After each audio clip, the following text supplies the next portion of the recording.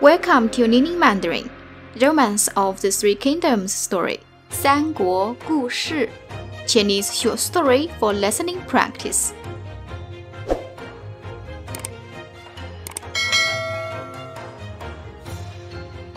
曹操刺杀董卓。曹操 to assassinate 董卓。Are you ready? Now listen carefully. If you get stuck, turn on English captions. questions for our listening practice.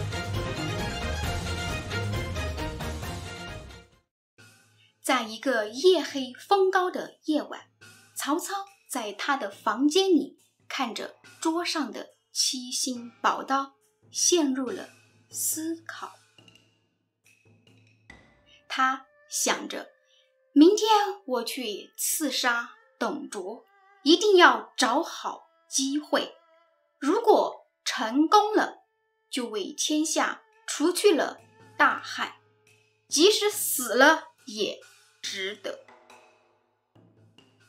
第二天早上，曹操就带着刀去了董卓家。曹操到后，看到董卓躺在床上休息。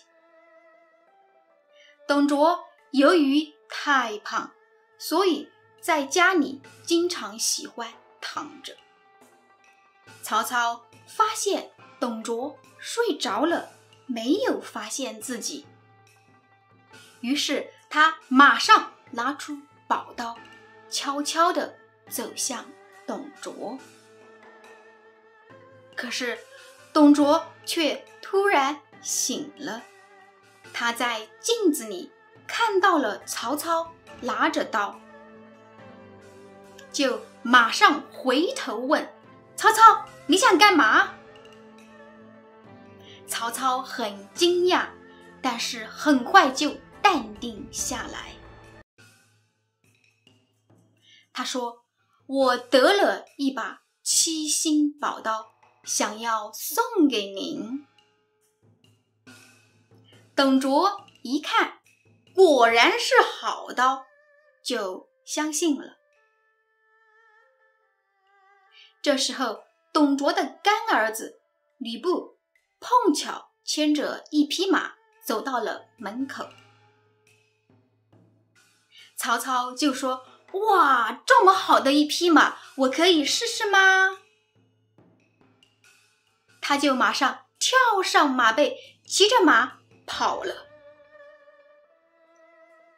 董卓觉得曹操很奇怪，过了很久才发现了曹操的阴谋。董卓生气极了，怒火冲天，下令全国通缉曹操。By the way, if you want to know who actually killed Dong Zhuo in the end, you can check my video Story of Diao Chan from one of the four beauties of China.